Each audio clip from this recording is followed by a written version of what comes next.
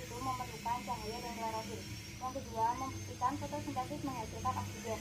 Yang ketiga, membuktikan fotosintesis menghasilkan karbohidrat. Yang keempat, membuktikan pengaruh warna atau spektrum serta suhu terhadap proses fotosintesis. Yang kelima, untuk mengetahui faktor-faktor apa saja yang mempengaruhi proses fotosintesis pada tumbuhan. Percobaan yang pertama, siapkan alat dan bahannya.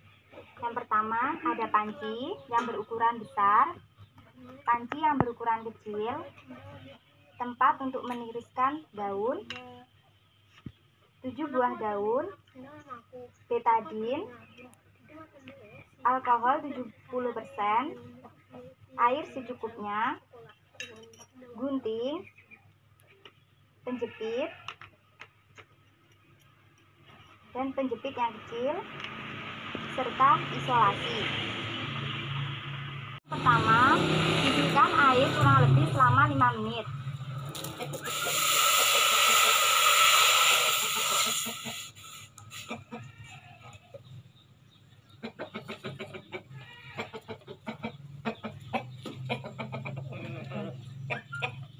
air sampai mendidih. Setelah mendidih,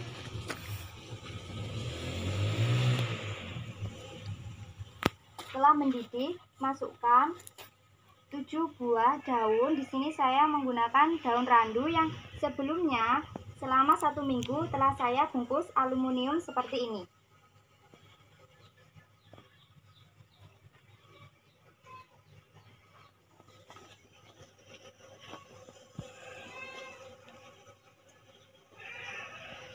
didihkan selama kurang kurang lebih 3 menit.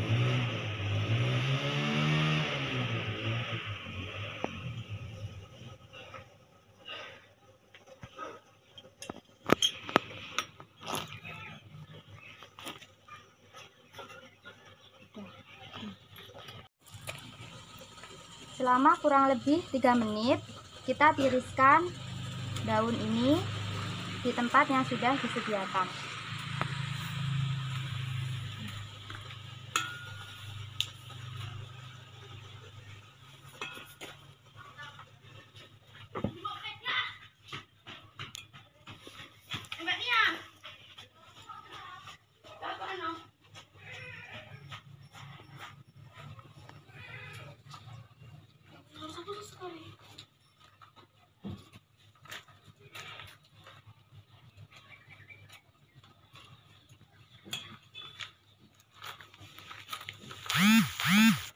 Setelah daun kita tiriskan, kita masukkan alkohol pada panci yang berukuran kecil.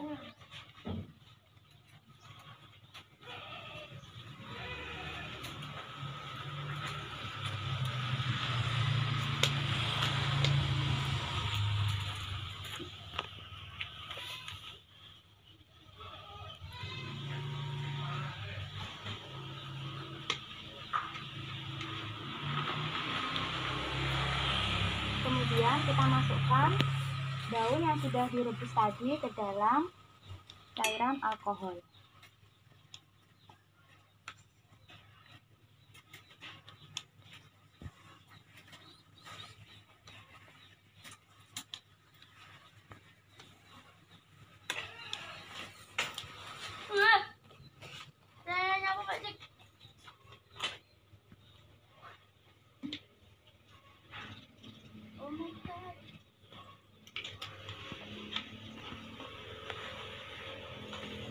Setelah itu, kita masukkan ke dalam panci yang berukuran besar.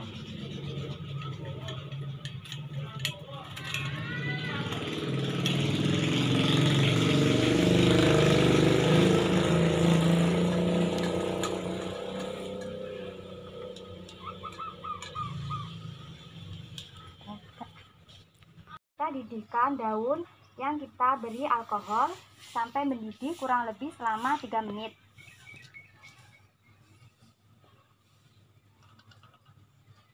Jangan lupa ini dilakukan dengan api yang sedang.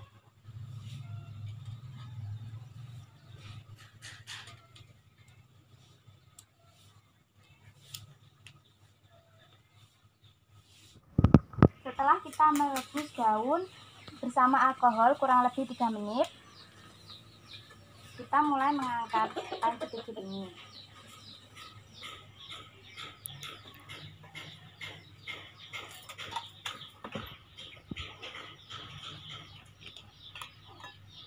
Kita tiriskan daun di tempat yang sudah disediakan.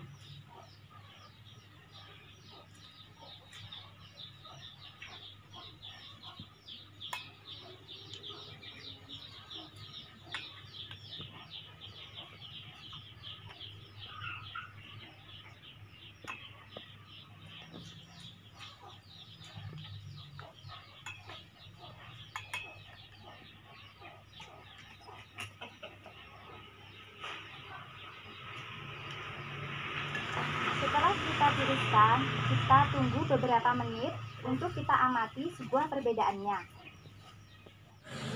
Setelah kita mengamati daun yang sudah direbus menggunakan alkohol, langkah selanjutnya yaitu kita baluri menggunakan betadine.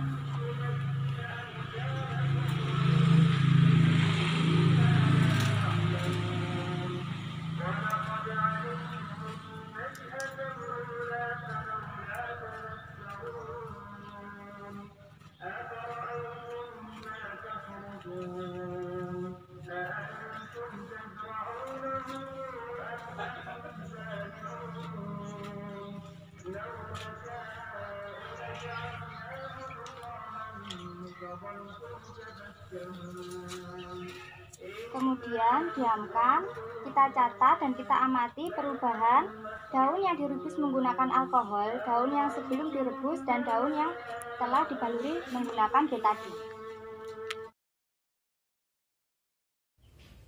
Berikutnya siapkan alat dan bahannya yaitu di sini ada sendok,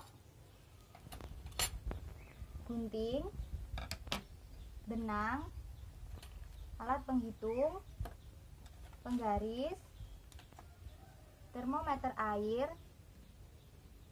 plastik jilid, tanaman hidrilla, soda kue, satu botol plastik, air secukupnya, stopwatch. Di sini saya menggunakan handphone. Langkah yang pertama yaitu kita ambil 5 tangkai tanaman hidrilla ini yang sudah dipotong sepanjang 10 cm menggunakan alat pengukur. Setelah itu, kita jadikan satu, kemudian nanti kita ikat ujung pada pangkal ini menggunakan benang. Diikat menjadi satu, seperti ini.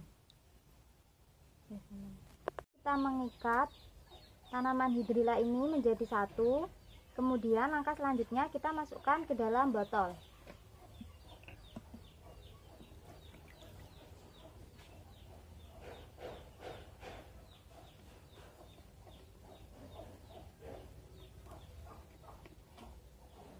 Setelah tanaman hidrilla ini dimasukkan ke dalam botol, kita tuangkan air ke dalam botol yang telah berisi tanaman hidrilla.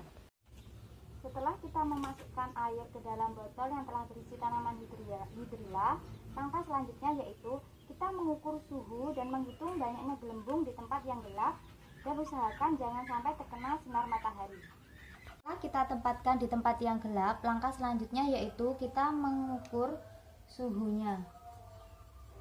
Berapa suhu airnya?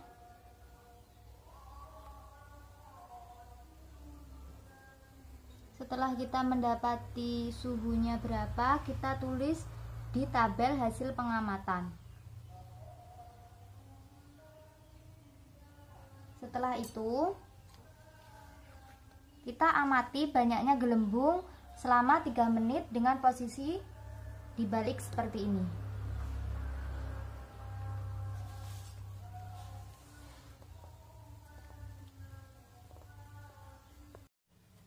Berikutnya kita tempatkan botol yang berisi tumbuhan hidrilla ini di tempat yang terang atau terkena sinar matahari. Langkah berikutnya tambahkan satu sendok soda kue. Masukkan ke dalam botol.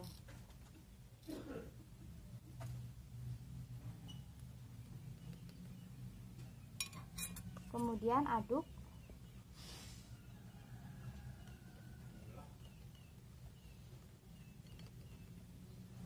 Setelah itu kita ukur suhunya.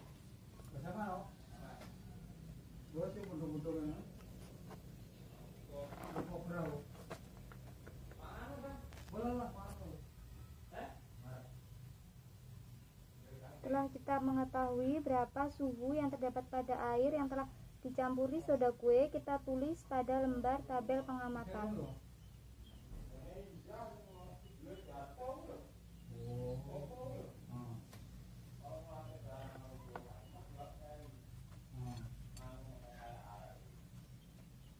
Kemudian kita mulai mengamati banyaknya gelembung di tempat yang terkena sinar matahari dengan posisi terbalik seperti ini.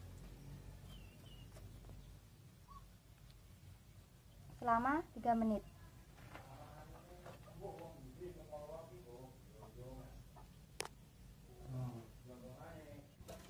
Langkah berikutnya yaitu kita mengukur suhu suhu air yang di atasnya kita beri plastik jilid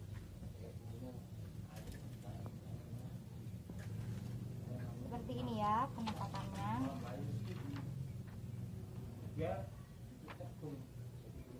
tepatkan plastik jilid ini ke arah sinar matahari.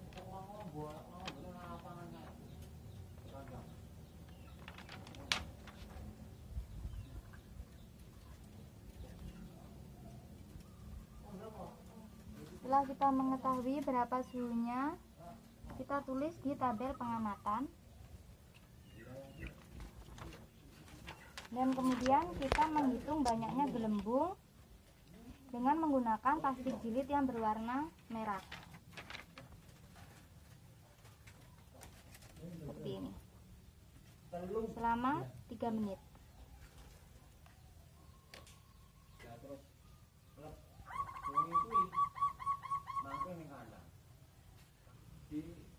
Kemudian kita ganti warna kertas jilid. Di sini terdapat warna merah kuning biru hijau dan ungu jangan lupa setiap pergantian warna pada kertas jilid kita selalu mengukur suhunya dengan menempatkan posisinya di atas seperti ini sesuai dengan arah sinar matahari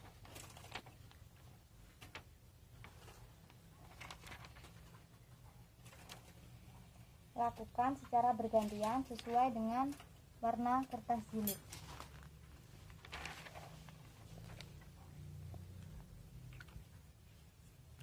Sekarang kita menghitung banyak gelembung.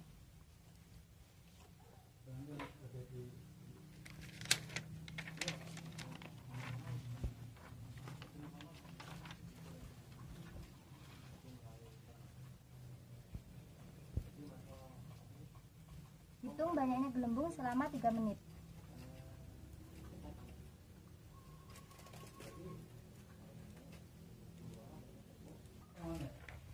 Setelah kita mengukur suhu pada plastik jilid yang berukuran hijau, kita mulai menghitung suhunya. Langkah pengukuran suhu seperti sesuai dengan plastik jilid yang sebelumnya. Menghitung gelembung ini secara 3 menit ya. Berikutnya kertas jilid warna biru sebelumnya ini sudah diukur suhunya hitung banyaknya gelembung selama 3 menit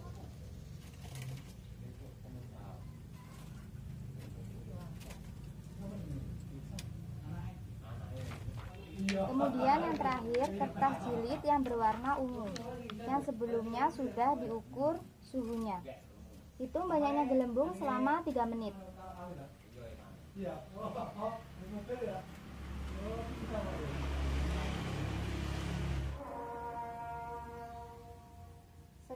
praktikum mengenai proses fotosintesis dari saya.